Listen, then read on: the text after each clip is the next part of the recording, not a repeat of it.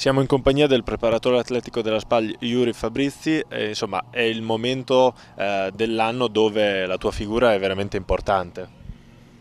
Sì, diciamo che è un momento in cui lavoro un po' di più, posso più tempo per, per lavorare, poi durante l'anno eh, ho, me, ho, meno tempo sicuramente, quindi ora cerco di incidere un po' di più. Eh, chiaramente il tempo dedicato alla palla è, è, sempre un tempo importante, però sì, in questa parte dai, è così, come dici. Quali sono i segreti per una buona preparazione? Segreti, segreti non ne ho. Eh, secondo me quello che abbiamo cercato di fare noi è, è gestire al meglio i ragazzi, cercare di farli allenare con continuità, capire i momenti in cui sono più stanchi, i momenti in cui sono meno, eh, possono darti di più.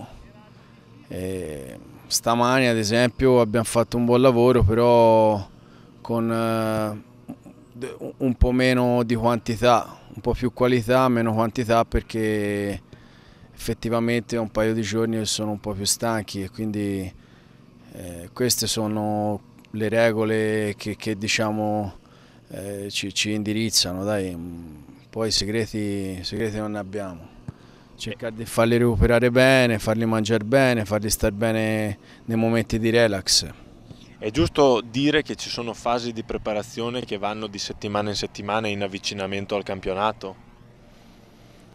Sì, è un po' più difficile oggi fare questo discorso. Eh, prima si faceva, perché comunque c'erano, c'avevi 15 giorni in cui la palla non la toccavi, quindi, o comunque poco, quindi potevi gestire al meglio eh, anche facendo una programmazione. Oggi con le amichevoli mh, molto più diciamo fitte e, con, eh, e anche molto più impegnative rispetto a quelle che si facevano prima è più difficile programmare, non penso che si sei molto spesso costretto a cambiare programmi perché comunque c'hai di sicuro più infortuni, perché comunque la caviglia, la botta, la cosa, quindi eh, sì, è chiaro che arrivando vicino al campionato cambia il lavoro, però non è più facile programmare come prima, sia a livelli di B, di C e anche di Serie A. Ci sono più, molti più impegni al quale poi comunque devi sempre fare bella figura, quindi non eh, programmi male, dai. Grazie mille, buon lavoro. Prego, grazie a voi.